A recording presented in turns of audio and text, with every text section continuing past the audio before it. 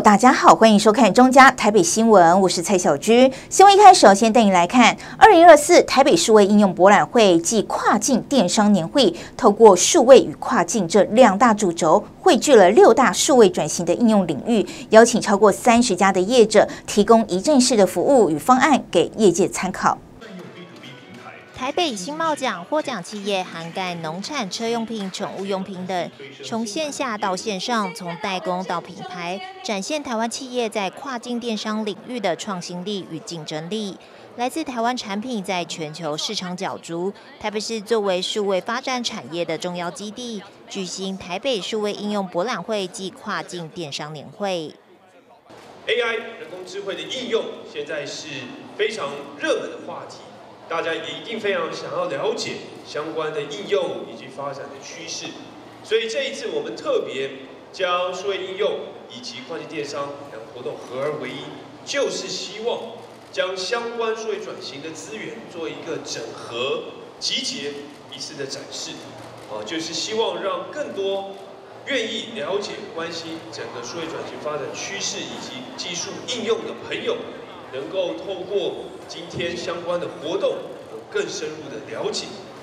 刚谈到 AI 人工智慧的应用，大家非常关心，所以在我们这次的活动，不只是规划哦，有包括跨境电商年会，有数位应用的这个博览会、高峰会，当然也有安排 AI 实物应用的论坛，让大家可以更进一步了解，怎么样让最新技术的应用。提升企业的竞争力。台北市政府身为全国首善之都，我们其实也非常关注整个 AI 的发展。我们也有相关具体的成果。第一个，我们已经很清楚的战略目标，要将台北市打造成为人工智慧驱动的智慧城市，AI-driven smart city。这是我们非常重要的一个目标，以及驱动产业的一颗引擎。那第二个，我们在今年的九月正式对外发布了台北市政府应用人工智慧作业指引，也就是 AI Operational Guidelines，也就是相当于在国外主要城市都已经提出定定的 AI Policy。那这是一个什么概念？当我们台北市政府大力推动人工智慧的应用，结合相关市政服务市民，我们需要有非常明确的规范以及作业指引。所以在我们这个 AI 的 Operation Guideline 里面，我们定定明确的应用原则、作业流程、检核的标准，让我们市府的同仁，当他想要应用人工智慧。它有一个明确的规范可以依循，避免触法，哦或是违反各自，而且营造一个更愿意创新的一个环境。那第三步，在今年的十月，我举一个例子，我们在市政推动上就应用了 AI 的技术。我想大家一定都知道，一九九九，啊，就是台北市民遇到任何问题。想要咨询，或是碰到各种状况，比如说路灯不亮、路树倒塌，啊等等，或交通拥塞，希望能够尽快排除，拨打一九九九。我其实有实际去我们的货物中心，去实际了解整个货物中心运作的情形。其实对于我们货务人员来讲，他们非常的辛苦，也就是当一通电话进来，他们要听，要记录。然后开始要搜寻市民要的答案，然后要让市民听有什么话来回复，所以要在短时间做这么多事情，其实即便是非常有经验的话务人员，有时候也会手忙脚乱，那会占用到很长的时间。所以，我们提出了解方，我们运用生成式 AI。所以在过去将近一年的时间，我们不断的测试、验证，在今年十月，我们正式。会将一九九九市民热线电话进来，先从语言转换文字，转换文字以后，也是市民的问题，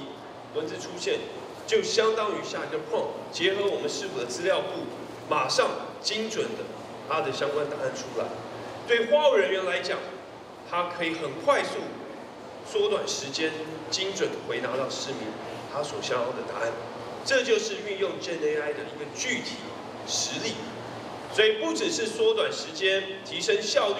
更精准的回答市民他所想要的问题答案，同时也大幅提升台北市政府服务的品质。我想整个呃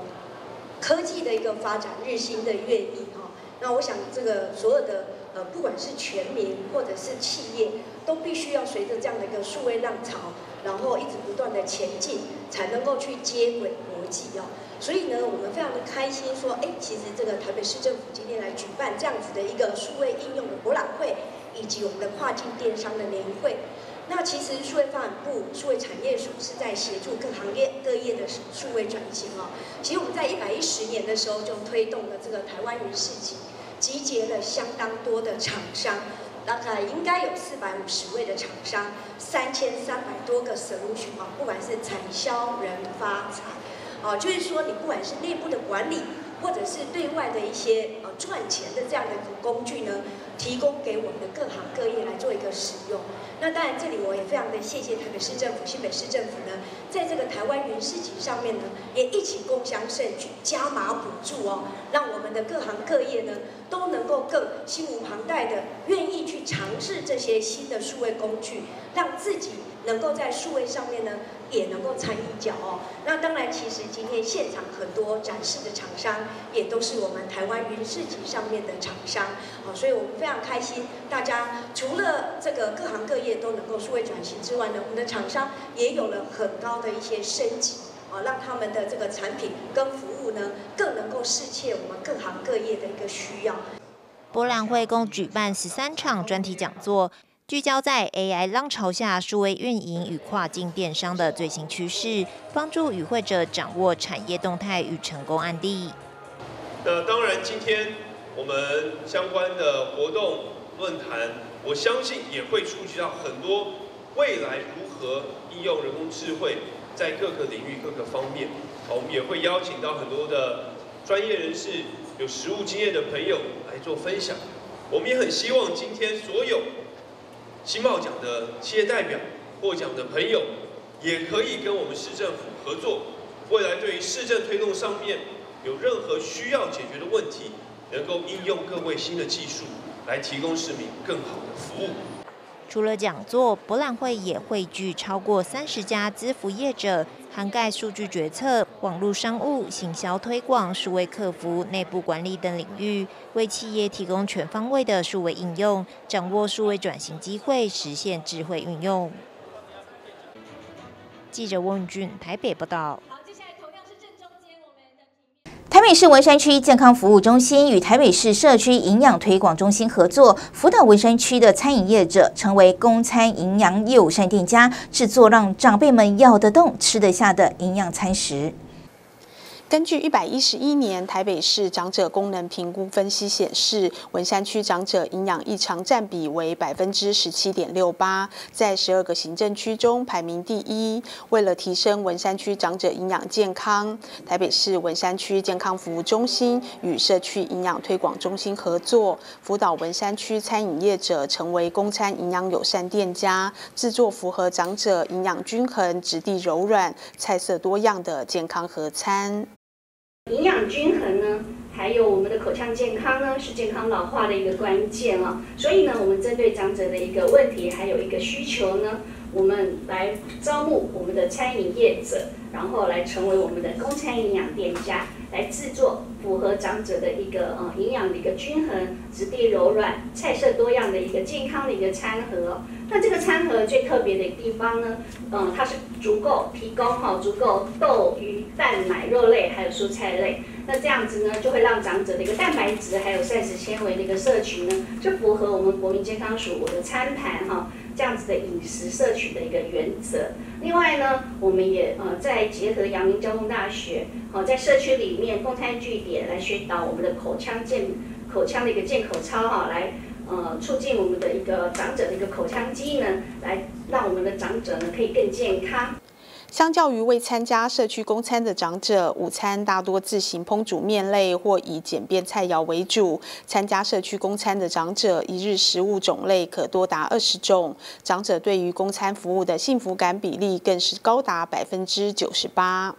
那长者的便当其实需要符合我的餐盘，还有高龄饮食的质地，所以我们在辅导的时候就特别把这一些元素哈跟标准做法带入我们在辅导的过程当中哈。那制作出来的便当呢，就如当如同我们的图片上，等一下可以提供大家来拍照。那就是我们制作好这样的便当之后，我们送到了我们的社区据点，让长者来食用。那经过我们的这个营养的效益评估的时候，发现哦，我们没有吃公餐的这个长者呢，他一直整天的食呃中午的食材哈，其实非常简单，大概就是简单煮个汤面哈，或几个呃白白饭配一些简便的菜肴为主。但是有吃我们的这个公餐的长者哈，他们一餐的就是呃食材种类可以到达这么多种哈，大概十到十五种哦，甚至。一整天加起来可以达到二十种的食材，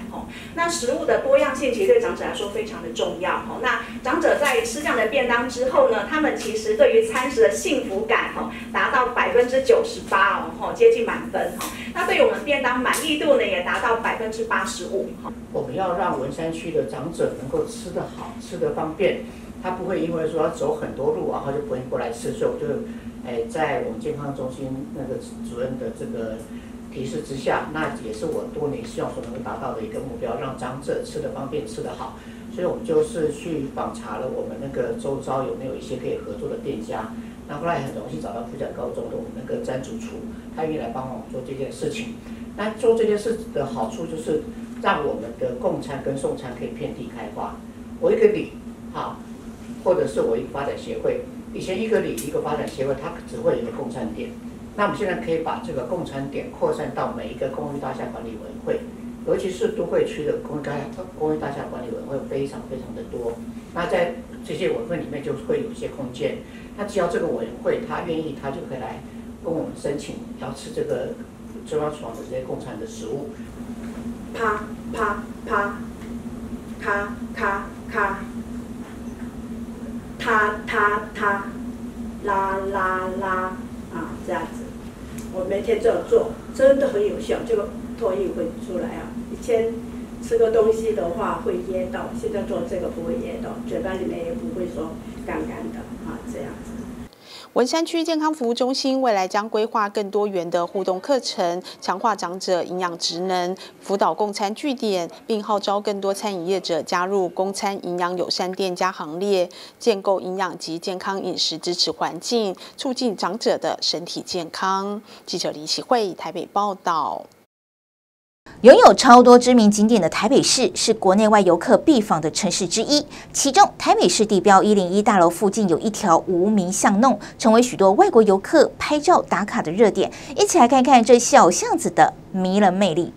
在平常也不过的一条巷弄，却吸引了许多游客拍照。这条位于台北市信义区松仁路的巷子，近几年成为国外游客必访的打卡热点。除了社群媒体的推波助澜外，充满强烈对比、新旧交融的迷人场景也获得游客喜爱。OK，因为感觉，呃，景色的反差比较大嘛。首先，这一零一大厦肯定是比较近代的，而且比较 modern 的一个建筑。然后下面这个街区呢，呈现的这个对比和反差感，对，就比较大。然后怎么会知道有这一条巷子？呃，地图上有标。地图上有。Google 地图上面有标，说一零一观光点、观光点、拍照点。啊，我还挺喜欢的。因为我觉得很适合女生拍照呀，对啊，就是你来旅游，你肯定想拍美美的照片，然后我觉得这个地方就很很出片。我是看那个小红书推荐的，嗯，然后我就来这边看一下。哦，啊看了实际看了感觉？呃，拍照蛮好取景的，很好取景，嗯，然后很好看，很好拍，对，真的很好拍，对，对。那你呢？你觉得？啊，我是跟着他，他陪我来的。对啊，你自己看了以后，你觉得这个景？不错不错，这个感觉蛮不错的这个餐厅，好，看了有有风味，有风味，OK，好。来台湾必必来，一定要来。我觉得有时候你来这边看一下小巷的环境，比你去一零一楼下还好。当地三里里里长翁信利说，松仁路两百五十三巷一弄，因为就在一零一大楼附近。平日就常有游客在这里拍照，尤其每年跨年一零一大楼释放烟火，这里更成为拍照热点，自己都曾经成为照片主角。诶，当初也是，就是可能是放烟火，放烟火有有有些人来这边拍照取景，那哇，这个照片一放上去，感觉不一样，很漂亮，很透视，所以就一直传开来，大家都把这个当做是一个打卡的景点。啊，OK，那以前可能比较国内啊，就说我们国人比较多，现在多了很多外国人，可是现在就是很多外国人也也知道这个景点。附近店家也透露，这条巷弄这么红的原因，可能与2011年一出神剧《我可能不会爱你》有关。因为当年剧组曾到巷口这家造型颇具特色的居酒屋取景，因此连国内游客也常来造访。因为我们来这边大概是五年的时间，然后这五年就是发现，呃，就是疫情，尤其是疫情之后，这边的那个观光客就变了很多，然后每个人就是都来拍一零一。然后据我所知的话，是他们之前就是有。呃，竹村之前有借那个偶像剧，呃，我可能不会爱你，呃，拍摄，然后可能就会被发现说，哦，这个地方就是有一个新旧的冲突，就是他们是一个就是居酒屋，就是比较旧的，呃呃，一个一个比较复古的状况，然后跟后面一零一就是新大楼的一个冲突的视觉。虽然临近的巷弄不时会聚集拍照人潮，好在游客都很自制，并没有对居民的生活造成影响。里长也表示不会大力宣传，希望顺其自然。因为在台北市每个角落都能感受到不一样的魅力。记者张启腾台北报道。接下来要带你来看台湾第一例哦，就是台美联手破获制式枪支的走私来台案，检警人员还赴美国将扣押的枪械带回国进行杀伤力的鉴定，象征台美司法互动关系更为紧密。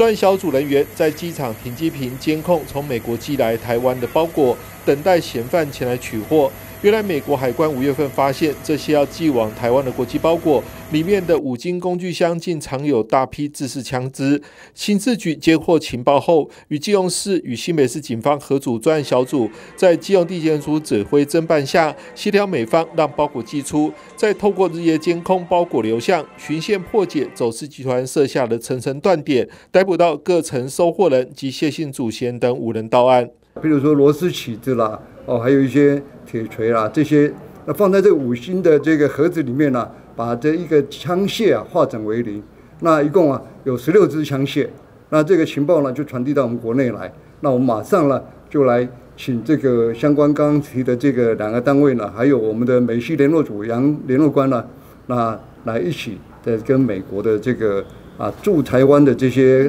啊呃呃执外执法单位呢一起来侦办这个案件。那这案件呢？历经了这个几个礼拜的侦查之后呢，我们在啊中和还有这个基隆等地啊，查获了五个主啊嫌犯，包括这主嫌在内。刑事局进一步说明整个枪械走私案的犯案过程。谢晋主嫌啊，他人在台湾，那他在台湾透过加密的通讯软体，呃，向美国这边的共犯下定相关的枪支型号。那美国这边的共犯呃收到谢贤的指示之后，在网站上面。呃，购买了十六支的呃制式枪支，那再把这些制式枪支混在在呃混杂在大量的五金工具以及工具箱里面，那透过航空邮包的方式哦，那夹藏在包裹里面，呃，并且寄出寄到台湾。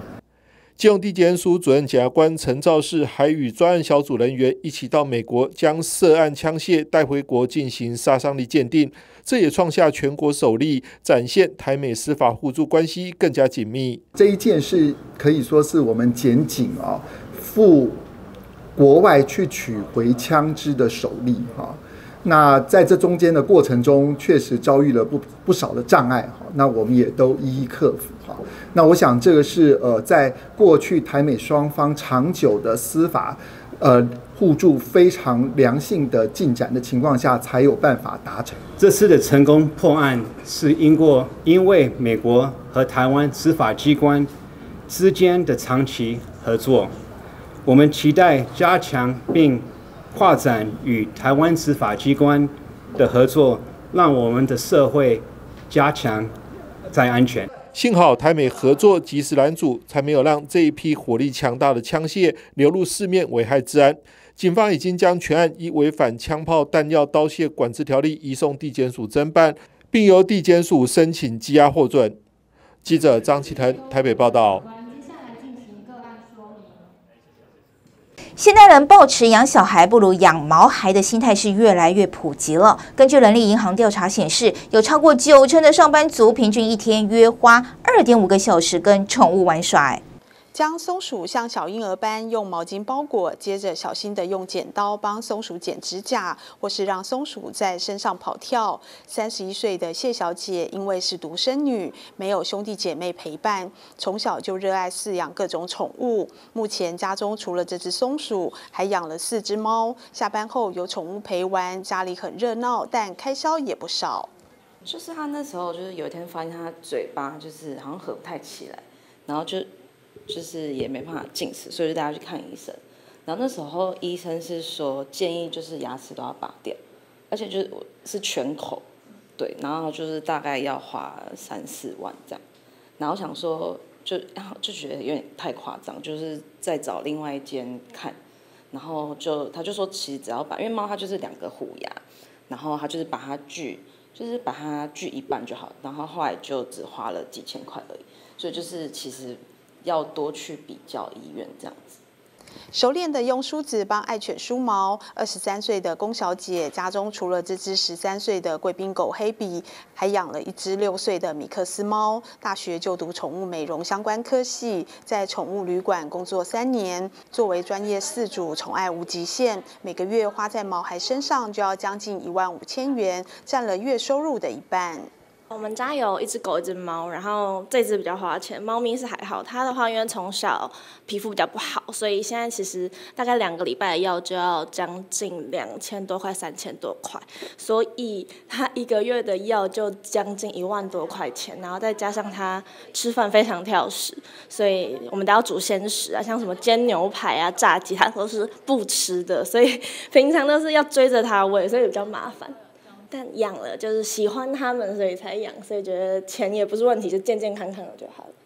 根据人力银行调查显示，有百分之六十二点五受访者家中有饲养宠物，其中养狗比例最高，占了四成三，而平均每个月愿意在饲养宠物上花费一千八百五十元。目前台湾的上班族里面呢，养宠物的比例算是蛮高的，有百分之六十二点五。那当中呢，养狗的人超过了百分之四十，也就是超过了四成以上。那养猫的人也超过了三成。另外呢，有百分之十六点五的人呢是选择养比较静态的鱼类。那根据我们调查，其实有九成的上班族呢，他们是愿意陪伴他们的宠物的，而且每天愿意大概花二点五小时的时间。那其实养宠物的目的哦，最大的原因就是希望可以有陪伴的感觉，或者是可以增加。生活当中的乐趣，那当然有部分的人本来就非常的喜欢宠物，同时也觉得养宠物呢可以带给他非常舒压疗愈的感觉，而且可以增加跟宠物之间的互动性。那其实平均每个月哦，呃，主人或者饲主他们愿意花在宠物身上大概是一千八百五十元。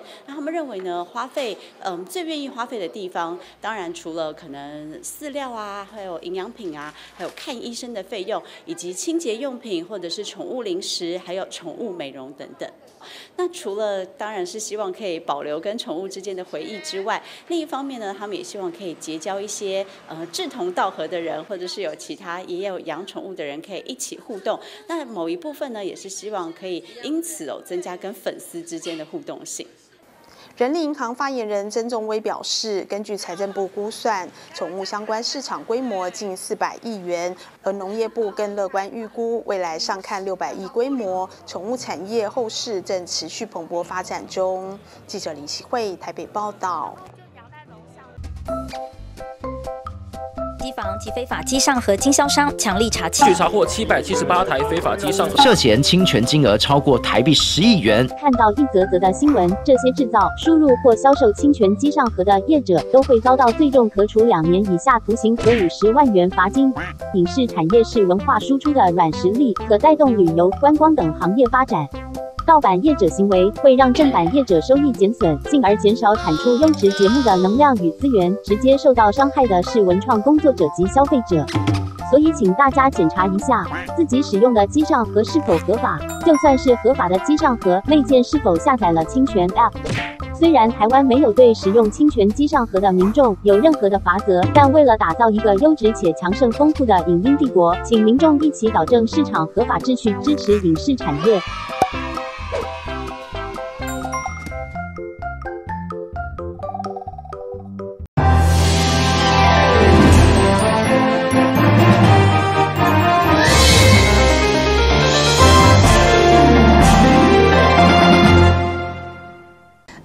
台北最嗨新年城跨年演唱卡司公布喽，搭配多元主题周，结合好吃好玩、阖家欢乐的市集活动，要让民众感受到热闹的节日盛宴。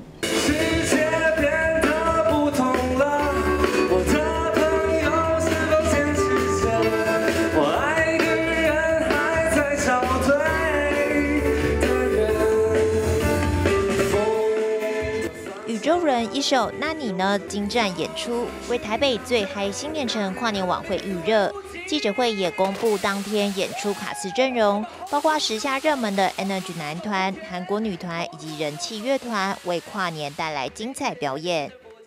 尤其一开始看到第一个卡司就是宇宙人，大家知道去年呢得了我们金曲奖的最佳乐团奖，哎，大家应该都知道了，掌声一下。然后呢，我要说一下，虽然我们年龄有点差距，但因为我以前当过教局长，他们呢很优秀，从年轻学生时代就很优秀。我还特别记得以前有个那个退伍那个军歌啊，一个口令，一个动作，那个非常那时候就看到就注意到你们非常的有创意，然后呃一路看到有很多的创作到现在这样的一个发展，所以成为我们今天呢要来揭晓的第一个有代表性的卡司。再来呢，我想等一下会帮我们介绍，因为会有这次有韩国的女团，还会有非常强的男团，还会有一些组合的一些做一些一些合作的创新的做法。等一下呢，一一的再跟大家来揭晓。再来呢，今年我们的主持呢，还是要是由非常活力十足的露露，配上我们的呃薇拉。威风啦，哦，威风啦，就威廉，还有丰田，跟我们的呃朵拉，哦，就是由露露跟我们这三位威风啦一起，所以等一下呢，会主持人会做更多的介绍。好，我们这次看跨年卡司嘞，除了我们我身边的宇宙人之外嘞，还有就是也是火红的一个 Energy，然后还有 Trash 加胖胖团，以及我们的韩国女天团 A Pink 都会到我们跨年的现场一起共同的表演，为大家欢庆迎接跨年晚会。哎，这个部分因为阿妹德雷是在大巨蛋的室内场地，那我们跨年其实是室外，那都欢迎各各个媒体或者是我们的朋友、亲那个市民朋友一起来参与。那这个部分我们也会做跨局处的一个协调，跟主办单位就交通还有相关的安全去做紧密的合作跟协调。务必请大家呢能够快快的来参加我们的跨年活动，然后平平安安的回家。所以我觉得同时今年真的对我们蛮有意义的，嗯。很很期待表演，剧透就是 蛮难浓缩的，因为我演唱会大概就两个快三小时，然后浓缩成一段表演的话，这我们回去还要再研究一下。我们应该会准备我们招牌快歌的一个主曲，嗯，对，然后到时候会表现给大家，嗯。观传局也精心规划系列活动，在十二月的四个周末举办多元主题周，包括怀旧复古、西洋经典、动漫应援、休闲元素，结合好吃好玩的市集活动与舞台表演。最后一个今年很不一样的地方，也跟大家先记得要列到你的行事历。除了跨年晚，呃，除了跨年的这个我们最嗨的这个活动之外，我们从十二月七号开始。每一个周末，四个周末，在我们市政府的东南广场，就是呢有个台配的那个，大家很多人会这边照相，可以看到一零一那个东南广场，每个周末都会有不同主题的市集，可以来听音乐，可以来呃看表演，还会有好的市集，所以呢欢迎大家每个周末，再加上十二月三十一号。跨年到明年二零二五的一月一号，欢迎都在我们市政府附近，你都会找到很多的你生活中的精彩。呃，其实跨年晚会呢，我们办了二十几年，我们一直希望带给大家一个不同的一个新的体验。那所以每年我们都会求新求变。那今年特别除了是在我们之后也会公布的多元舞台之外，我们在跨年前夕嘞做这个多元的市集，也希望就是在台北市，其实在年底的时候有非常多的活动，那各区都非常的热闹。那在信义区的部分，我们希望能够在加重我们的一些跨年的氛围，所以我们每个周末日嘞都举办市集。那也希望市民朋友除了就在新北嘞有耶诞城之外，我们台北也有一个跨年的那个新年城的活动，能够希望大家一起到年底的时候都来我们大台北地区来一起欢庆我们的一些相关的节庆活动。今年台北最嗨新年城主持阵容延续去年活力十足的露露黄露子英搭档威廉朵拉丰田，将为整场跨年晚会带来欢笑不间断。主视觉也由国际知名华裔设计师 Daniel Wong 操刀，展现台北满满活力。记者温俊台北报道。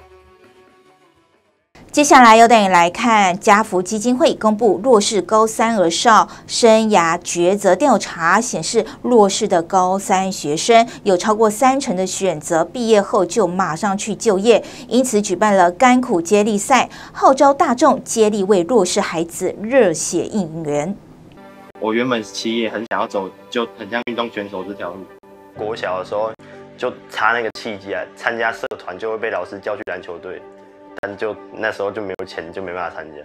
决胜六秒影片记录阿胜与哥哥阿顺的故事。两兄弟从小由阿妈照顾，弟弟阿胜在学习上有障碍，也有偏差行为。国中加入举重校队后，阿胜行为逐渐稳定，年底更将代表台湾前进卡达比赛。哥哥阿顺也曾梦想成为运动员，却因为家境关系而错过。对弟弟的成就既羡慕又骄傲。从小都是阿妈跟阿公在照顾，是，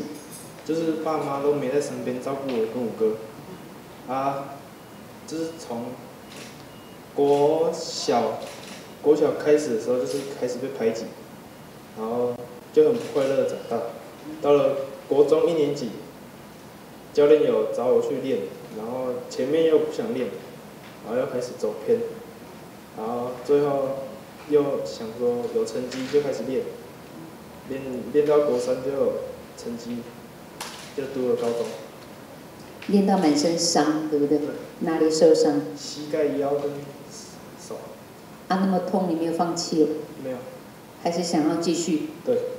有梦想哦，就是希望为自己能够有一个不一样的前途，是掌握在自己的手中。听说你当时如果没有被去抓去练举重，大概你就是八加九。他自己讲说啊，我可能就是变成八加九了哈。但是阿妈把你教的很好，你知道要怎么样走自己的路。那我看到你哥哥哇，第一次写信给你，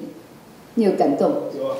哥哥说有给你一个玩偶当做幸运符啊。有啊。好，他是给你什么祝福吗？他说出去就好好的比赛，嗯，不要受伤就好。不要受伤就好。哎，哥哥很会想啊。哥哥其实也本来想要朝运动方面努力的，他想说你们两兄弟总要有一个不要受伤啊，对，所以他就选择他不要受伤。他会不会是要陷害你，让你去受伤？没有，没有，是真的希望你可以为家里争光，翻转家庭的命运，对不对？同样是隔代教养，阿璇从小由阿公阿妈照顾。阿公刚过世不久，阿妈常背着他哭泣，却依旧打起精神工作，支撑家计。目前就读高三的他，在家福梅和自立青年辅导下努力冲刺。其实阿公阿妈养我们本来就不是应该的，他们他们就是其实是真的看我们三个人很可怜，才照顾我，就是才把我们养那么大。是。然后其实我阿我阿阿妈也跟我讲说，就是哎我阿公。就是我我阿公跟我阿妈讲说，就是他他他自己的女儿都就是都没有上大学，就是他都就是帮忙缴学费缴到高中而已。嗯。所以如果真的要上大学的话，就是就是要靠自己。要靠自己。嗯。可以的啦，你可以靠自己的。对。然后就是其实阿公阿妈他们真的很辛苦，所以虽然我没有爸妈那样就是的关爱，但是我我有我阿公阿妈很骄傲这样。根据家福基金会调查显示，有百分之三十一点七弱势高三生毕业后预计投入职场，而选择继续升学的弱势高三生也有百分之四十五点六曾想放弃升学。前五大原因中就有三项与家庭经济困难有关。那这些孩子其实有超过六成左右，即他会担心的就是，呃，升学之后他会担心的是学杂费啊、生活费、住宿费。你可以想象，你到外地念书的时候，你所需要负担的一些费用，你就可以想象到。好，下一张。那这些孩子其实有一个很特别的选项，你会发现就是说，他们除了担心自己的学杂费跟生活费之外，他也会考虑到他的家人，比如说有两层。多一点的孩子是会考虑到说无法照顾生病的家人，还有照顾自己的手足，这某个程度也是彰显说我们的孩子他要承担的就是家庭照顾这样子的一个责任。那因为家庭照顾的让他有多一点的这个牵绊。好，下一张。那孩子即便他是选择想要继续升学，但是在他的呃选择的过程当中，其实他也会有萌生就是打退堂鼓这样子的状况。所以有百分之四十五点六的孩子其实曾经想过说，哎，那我干脆不要升学好了，我我就去工作好了。所以对我们的孩子来讲，这个挑战真的是还蛮大的。下一张，对，那这些哦想要升学，但是曾经想过。呃，打退堂鼓的孩子，其实他想的还是跟经济议题有关的，就是这几个我们框起来这几个啊，想要赶快赚钱有收入，想要减轻家庭的负担，那想要改变就是家庭的经济环境。甘苦生活节是家福基金会从二零一四年开始推动，在每年十月份的时候，呃，刚好因为就是国际的消除贫穷日，我们透过各种活动或者是办理的内容。能够来呈现一些比较弱势家庭的孩子他们的真实的样貌，让社会大众能够更重视，也呃让很多企业一起来参与我们的活动，能够让帮助这些家庭的孩子有机会透过各种的活动的一些模式，能够呃转转苦为甘，好，这是我们最初的一个目的。当然，我们今年的主题是在看不见的一个贫穷，它有很多很多需要我们关注的一些孩子，特别是在今天我们特别关注的就是在高三学生，他们在面临一个生涯很重要的抉择的时候，他们怎么去在升学跟就业之间做选择？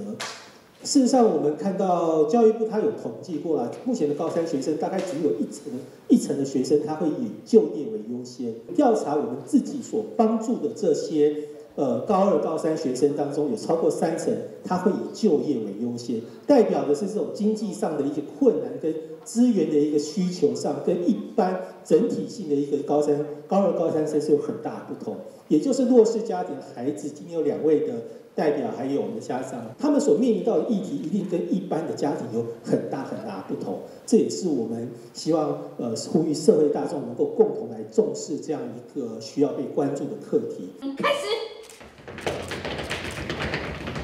为筹募弱势儿少学习补助与自立辅导服务经费，家福基金会甘苦生活节推出甘苦接力赛游戏 App，邀请民众挑战日行万步，将每天步行或跑步记录上传，在十一月十六号前一起累计达到登上月球的四点八亿步。爱心企业将携手捐款八十万元，另外也号召民众捐款，一起为弱势孩子的梦想应援。记者李启慧台北报道。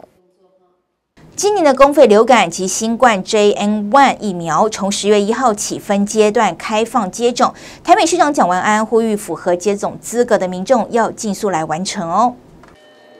台北市卫生局长、医师人员、长辈、妇女及孩童都挽起袖子接种疫苗。今年公费流感及新冠 JN1 疫苗从十月一号起开打，现场人员率先响应政策接种，即便有小孩害怕，最后也是勇敢打完疫苗。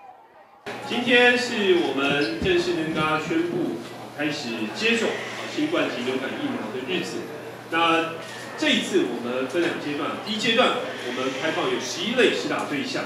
那特别今年我们也让满五十五岁以上的原住民朋友来施打疫苗，所以照顾原住民朋友健康也是非常重要。那第二阶段我们开放五十五到六十四岁的民众。以及满六个月以上的孩子，哦来接种疫苗。那根据统计哦，从去年十月到今年九月，其实呃因为新冠而死亡的个案有两百一十例，那因为流感而并发重症有一百六十例，而流感哦因流感死亡有超过八成是因为之前没有施打流感疫苗，而且以六十岁以上长者居多，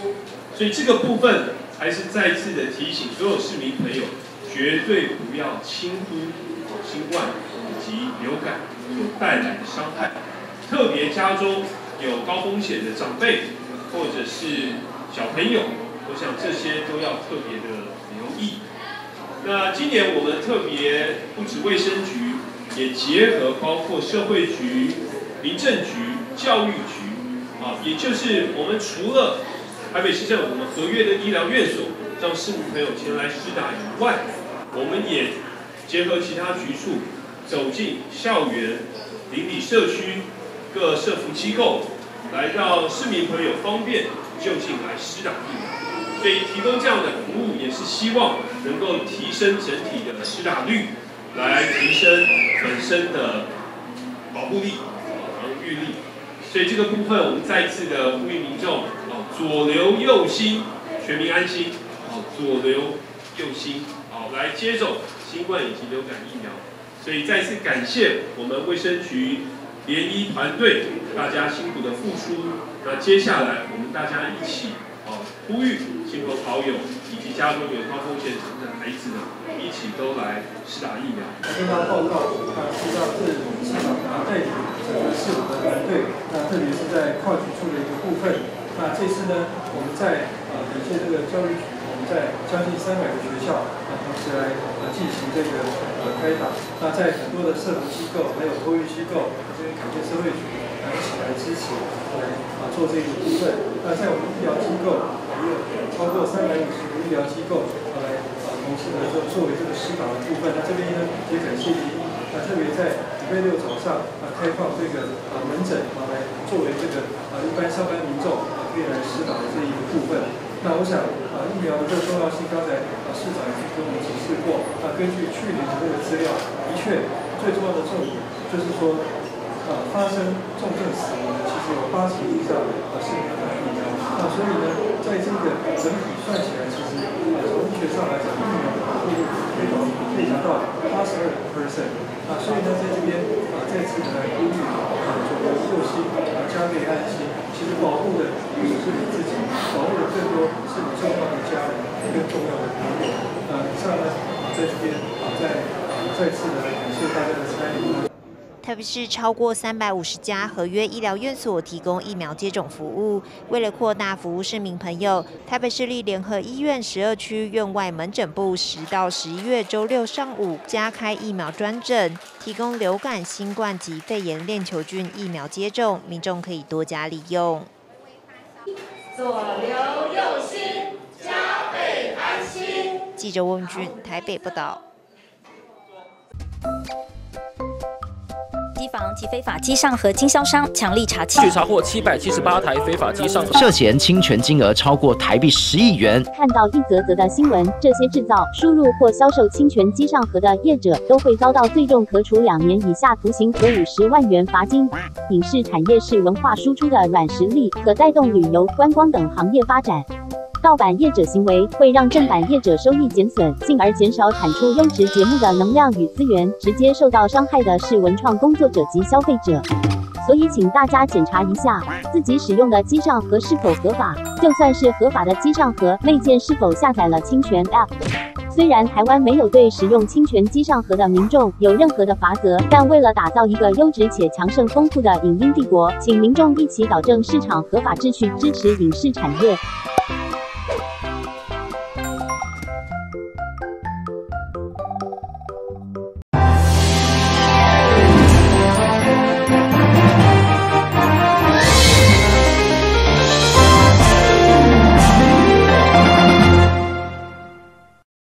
华邮政把七堵邮局站改成行动邮局，还没有启用哎，就已经成为打卡景点。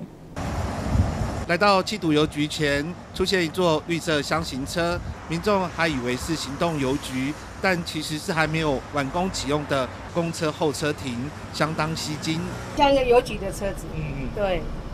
还有方向盘，还有驾驶，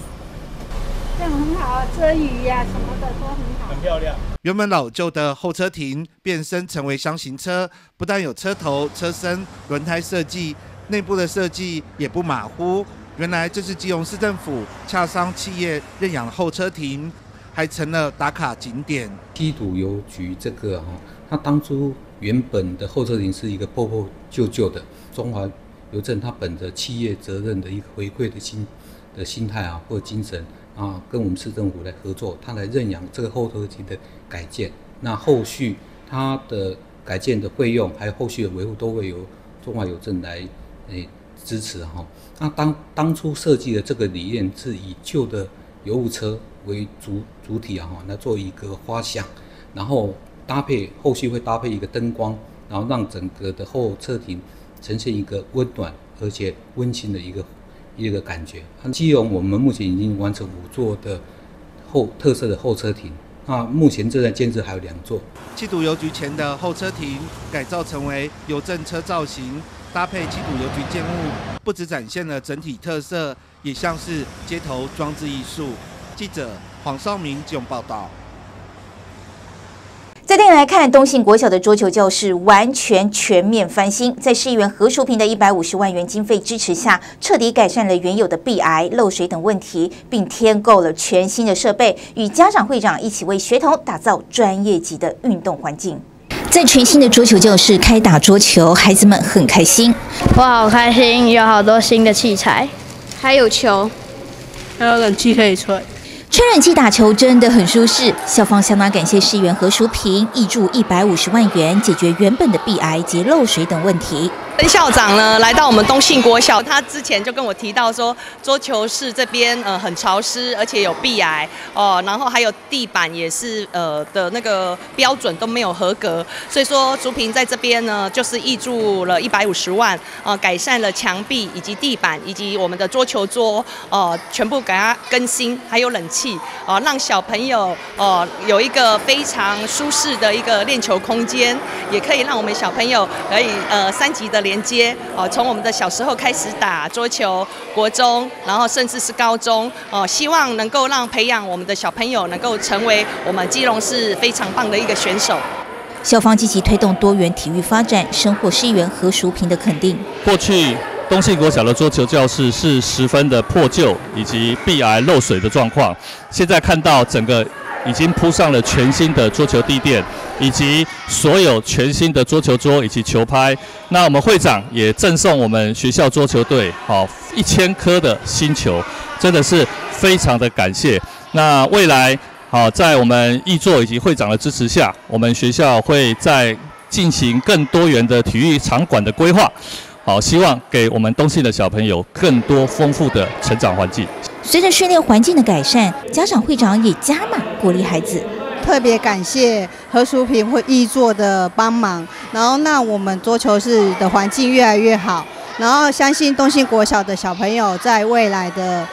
桌球的运动这个项目会越来越好，屡创佳绩，提升了硬体设施，更为学校体育发展注入了新动力。期待未来继续创造佳绩。东兴国小！记者蔡小军，基隆报道。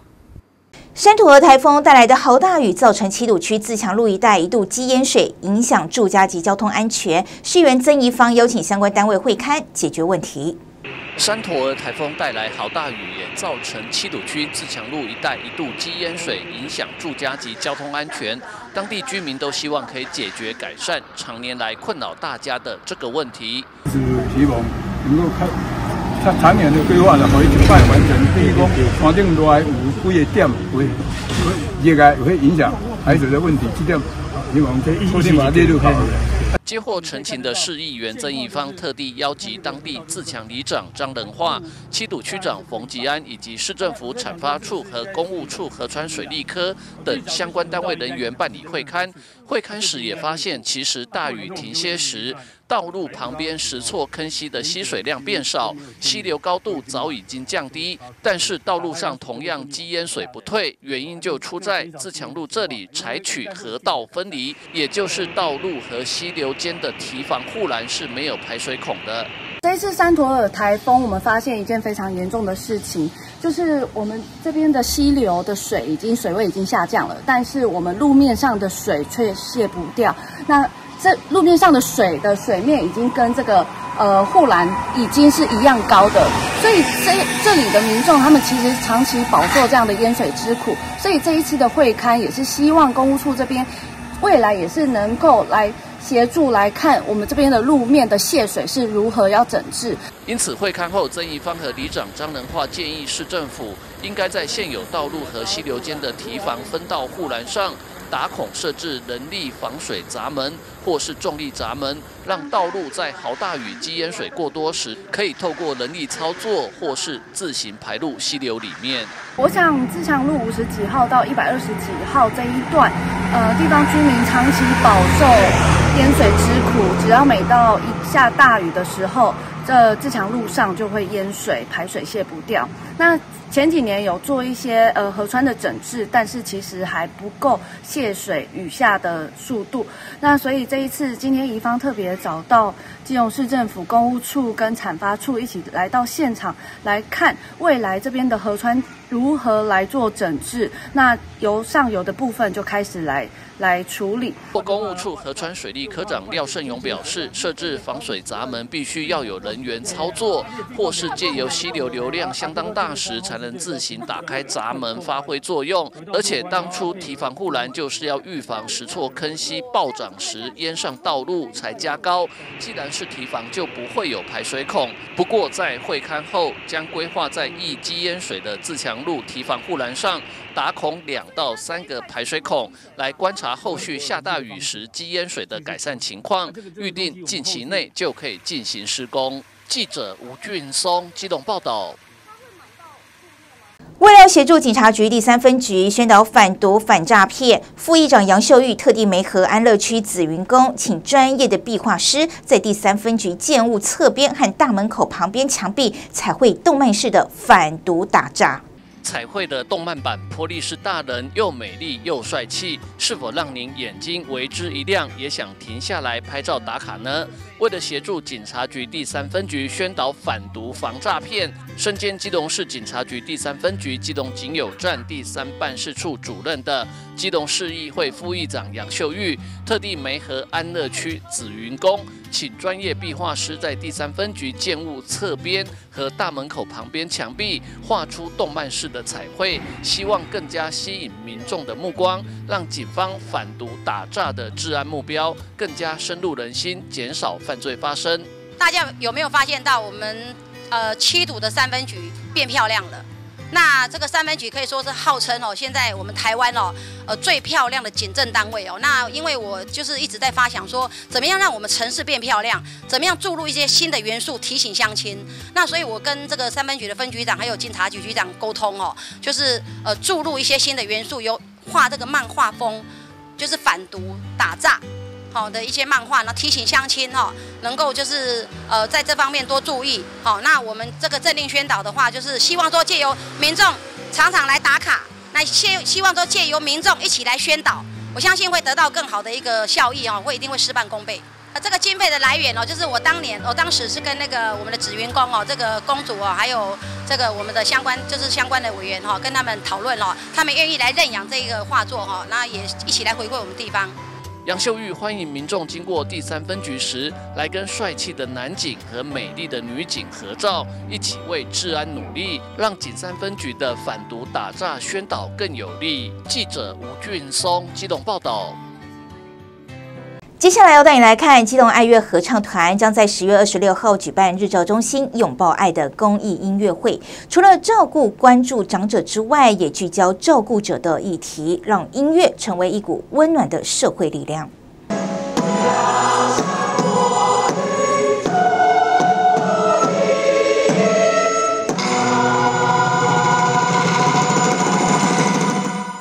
爱乐合唱团将于本周六十月二十六日举办一场公益音乐会，许多怀旧老歌以混声合唱的方式重新编曲演绎，并多元呈现。部分曲目结合戏曲表演、钢琴、国乐，更特别的是以网络广播 Podcast 的形式进行串场主持。很开心，我们已经连续第十九年获选杰出演艺团队。明年我们合唱团要满五十岁了，我们就从那个青年团唱到现在已经是乐龄团了。也因为是乐龄团，我们预早为自己做了准备。今年的日照心中拥抱爱，就是希望为我们的老后做一点准备。在善终之前，可不可以先善生，好好的快乐活着？所以这次的演出，我们在呃节目当中第一次把广播的网络 podcast 搬到荧幕上来串场。然后这个串场里头介绍了很多关于长照的议题，还有怎么样支持照顾者，让他们在照顾路途上不要太悲伤、太难受、太煎熬，可以找到一个日光大道，让自己有一个明亮的未来。那这次我们还和这个基隆市社会处做了合作，所以杨玉新处长也很希望可以让在机构照顾的这些住民朋友们，他们能够有一些欣赏音乐的机会，然后也可以听到一些好的表演。所以呢，我们也到仁爱之家去做了演出。那今天这场演出十月二十六号就在表艺中心的演艺厅，我们会邀请更多的朋友，其中非常重要就是许许多多都是照顾者，所以我们希望在这场演出当中，带着大家走进时光隧道，回想一下我们小时候唱过的一些卡通歌曲，透过我们的指挥老师卢志清老师的诠释，还有我们的伴奏王红林老师的编曲，相信会给大家一个丰盛的音乐飨宴。公益音乐会演唱充满童趣的卡通歌曲及脍炙人口的经典名曲，欢迎大家周末十月二十六日一同来参加这场富有意义的音乐盛会。记者张志佳、徐玉龙、基隆采访报道。以上就是今天的中嘉新闻，非常感谢您的收看，我是蔡小军，祝您一切平安，我们再会。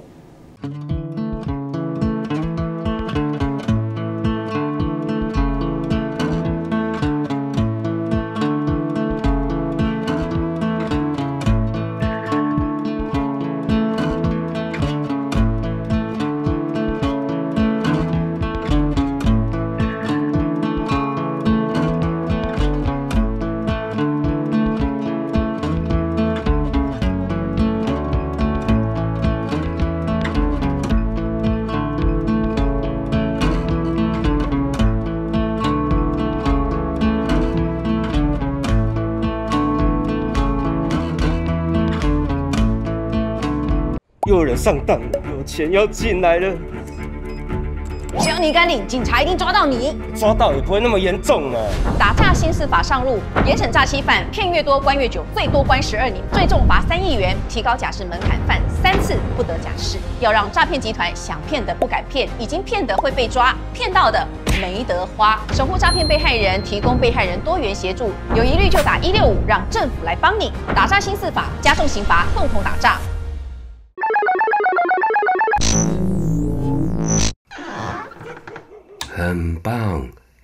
随手关灯还不够，安装 LED 灯泡可以再省六十八照明用电，清洁滤网可以再省十八冷气用电。等下更多的电就可以看更久的卡通了吗？不是为了留下更好的世界给你。爸，我爱你。我也爱你。